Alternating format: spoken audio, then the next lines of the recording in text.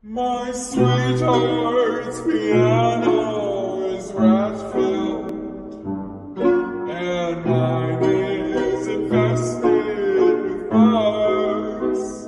The music we make is unnatural, but it sounds just like.